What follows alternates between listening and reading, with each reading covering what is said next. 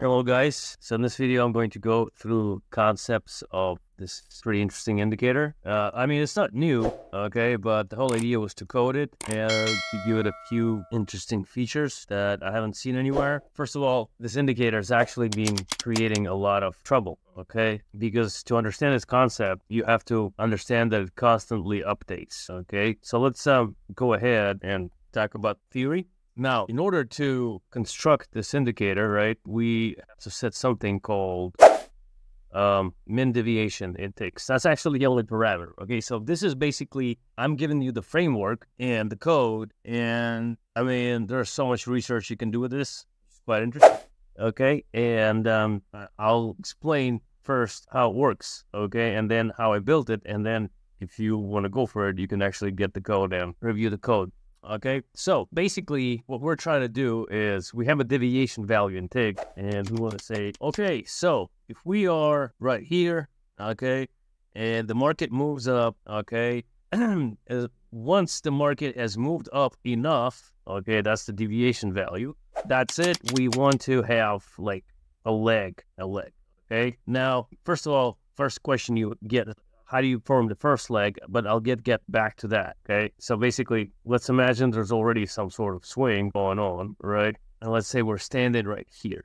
Okay. So first thing that I want to say, like from here, if the market starts falling, okay, once the market has traveled down enough, okay, more than the deviation value set, we actually plot a leg, a dashed leg like that. Okay. You can see it right here. This dashed leg is formed. Okay.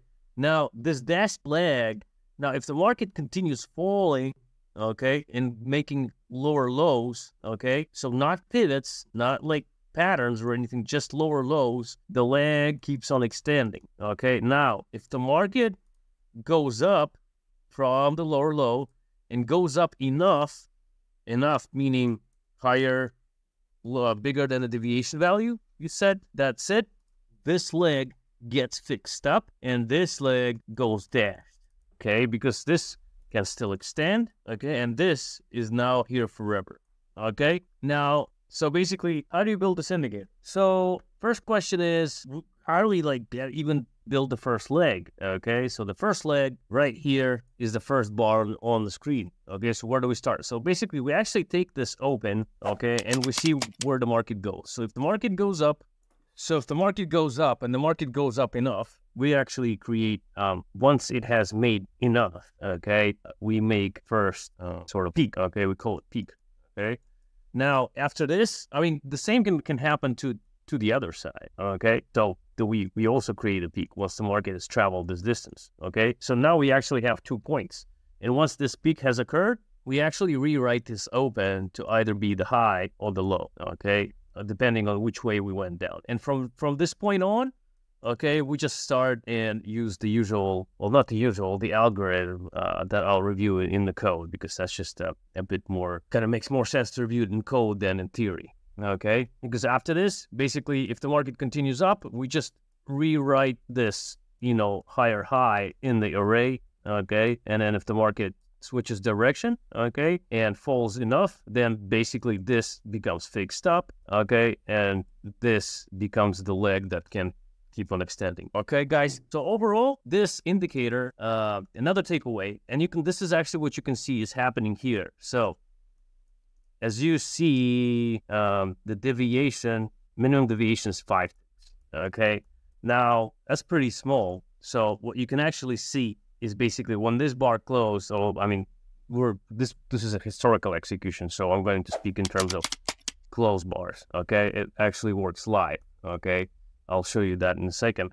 But basically, what you can see, this was already enough for this to get plotted. So if you were to execute this live, this would have been actually it would have been going like this, then it would gone like this, like that, like that, like that, like that, like that. Okay.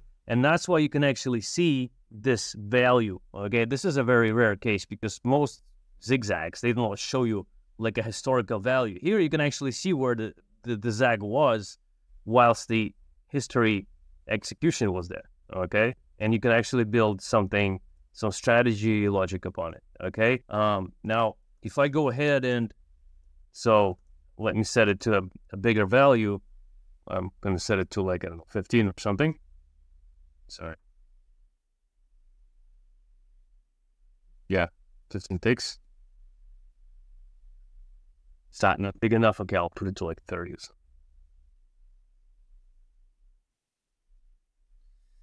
I just want to show you.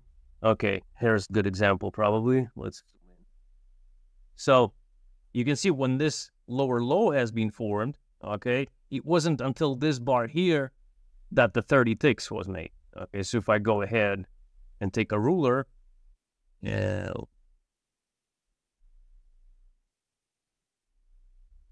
Okay, so that's 52 ticks. Okay, so here was still 28. I mean, it started from here, okay, but we're in the historical realm. So there we go. Okay. And that's why the values here come up only on this bar because that's what was happening during your historical execution. Okay. This came up only when this bar, you know, well, it actually started coming up here and it was growing, growing, growing, growing, growing. And then it got fixed up and it got moved here. Then again, it stayed here dashed. Okay. I'll show you in a second. And then it got moved here, dashed, moved here, dashed. Then when this when this high here, well, I mean, when it made 30 ticks here, that's when this dash turned solid and this dash, you know, kept on standing like that. Okay, most zigzag indicators, they don't show you this, you know, kind of intra-bar, intra-zigzag, intra-swaying what was happening. Okay, so let me go ahead and there we go. So let's have a Let's have a replay. Okay. So here we go. You see, uh, moves and it's still dashed.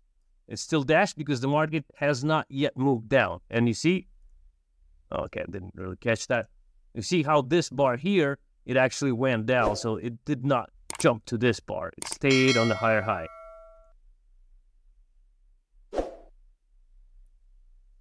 See?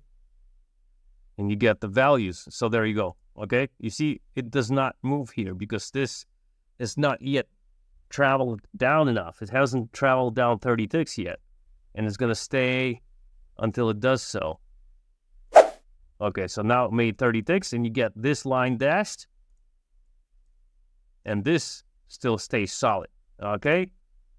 So that's the theory behind it. So um, welcome to review the code inside the product area. Thank you very much.